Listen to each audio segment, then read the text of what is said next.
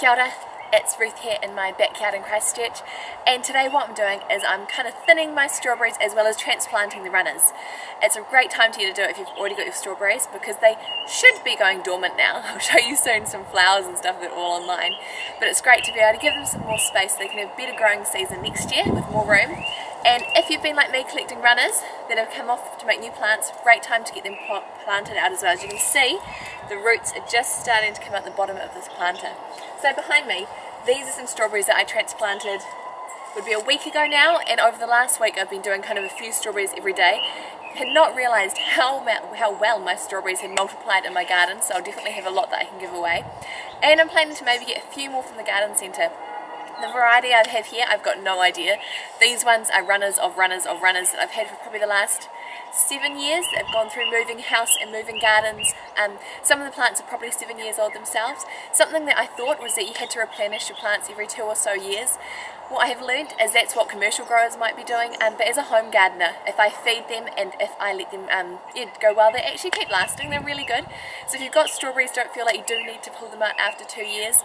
I found actually the two, the, the two, number two and number three year, they've got the best fruit, um, and then I transplant them and then they go again. So time to get some strawberries in the ground but I'll just show you what I've been doing so far with some of the strawberries I've been moving and also how rough you can be with strawberries now don't blame me if all your strawberries die but these ones have been in the ground for about a week. Some of them are a little less, oh, that one's less perky because it's not even planted. but some of them are a little less perky, some of them are more. You can be quite rough with them and they'll live. I learnt this when we moved house. I pulled them all out of the planter box we had them in because I needed to move the planter box. Left them in a bucket for about a month. Finally got around to doing something probably about two months after that and they all lived. So strawberries are pretty hardy. Okay, I'll show you the gardens that they've come from and then what I'm doing to replant them. Super simple. So here at some of the other strawberry runners, you can see where kind of the cords have come off, but these guys are all going well. Oh, and they've even still got strawberries on them, a little bit crazy. Here is where I've been pulling them out of, and I've got this far to go in this bed. And then round on this side, I haven't touched this one yet, I've got the whole bed to go. But they are still making well beautiful strawberry flowers but actually it's the wrong time of year so what I'm doing while I'm taking everything apart is I'm pulling off all these flowers because I don't want them to put energy into producing flowers. I'd like them to put energy into making strawberries or growing the leaves, growing the root system. What I'm going to do here is find where all the different strawberry plants are. Some of them, like these ones, are already off the ground and some of them are in the ground. So let's dig down. So you'll see all this root structure. There's some roots at the end, but really there's all these little kind of bits that come off it. I'm just going to break these all apart. And each of these becomes their own new plant. They might wilt um, the first day or two that you put them in, but after a little while they'll all pop up and you'll end up having a whole lot more plants. So here, one like this, you've got all the flowers, you've got some offshoots. I'm going to pull off all these leaves.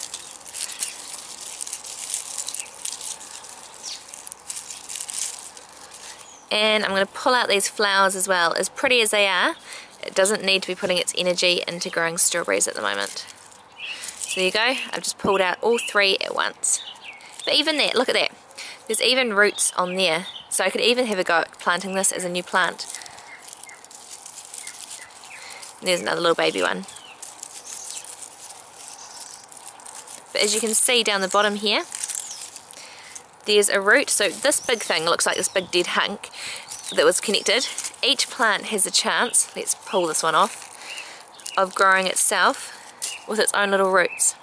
So then, super simple, I take my strawberry, and this bit here is the crown above here, and these are where the roots are. So the crown you want above the soil, the roots underneath, so you can see it doesn't actually need to go very deep.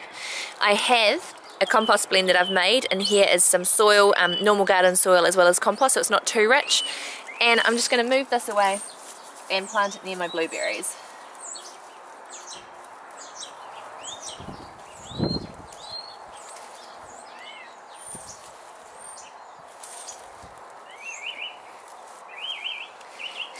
So there you have it, one lovely strawberry. And then don't forget to grab your watering can and give it a really good water in. Now that I've got that plant in, I've only got about 100 more to go. If you've seen these, this is where my blueberries are. And I'm putting my blueberries and strawberries together because they both like acidic soil and also means I only have to net one area of the garden rather than having two areas really close to each other. So hopefully, come next summer, my strawberries and my blueberries will be able to thrive together. So that is the planting of the strawberries. One thing is, you may have seen it before in one of my videos, last year I spent a lot of time painting strawberry rocks. The idea behind them was that you put them in with your strawberries and the birds come and peck at them and think, oh, these aren't worth it. Don't go for your real strawberries. Complete fail. If you've tried it, it's worked for you, I'd love to know, leave a comment. But for me, I've got now some beautiful painted strawberry rocks but they do nothing. They just sit in my garden, and look nice, and when we have little kids around, they play with them. Thank you so much for watching. Since I'm planning to buy some new strawberry varieties, I'd love to know what your favourites are. Please leave a comment below, and I'll catch you later. Ka kite!